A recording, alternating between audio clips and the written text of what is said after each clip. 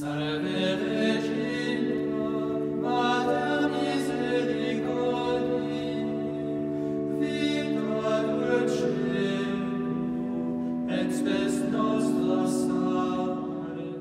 Gianna Oratory presents Daily Thought of St. Francis de Sales for October 18th.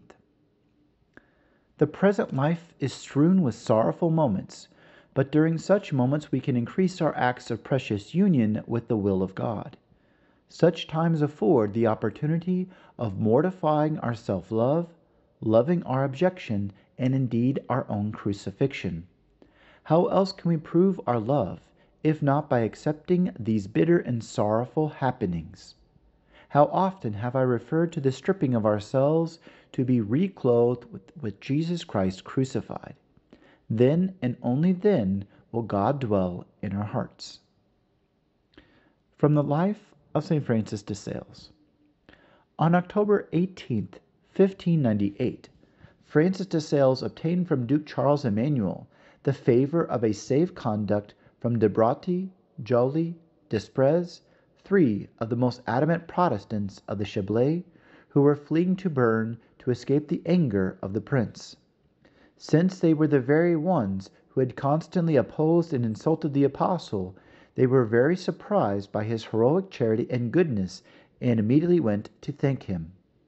On this visit they showed him the treatise composed by the Calvinist Beza on the book of Joshua. On opening, the saint immediately discovered the assertion of the author that Calvin merited, after God, the glory of having been the first to establish the Lord's Supper. The saint was impelled by that to give them right then and there an excellent summary of Catholic truth. The three gentlemen took their leave and went to see the minister Lafay, a great friend of Beza, to advise him of what had occurred.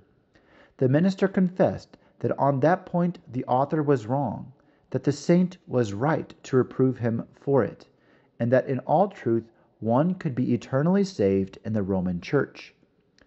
This declaration moved the hearts of these gentlemen so deeply that they returned to see Francis.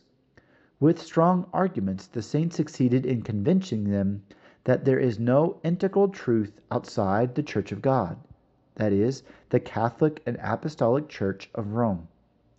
Many questions and answers followed. The grace of the Lord worked so powerfully in the hearts of these three fortunate men that they were converted and abjured their heresy in the presence of the saint. Francis then presented them to the Duke of Savoy, who received them with fatherly kindness. They persevered in their faith, and together with their respective families became examples of piety and Christian living.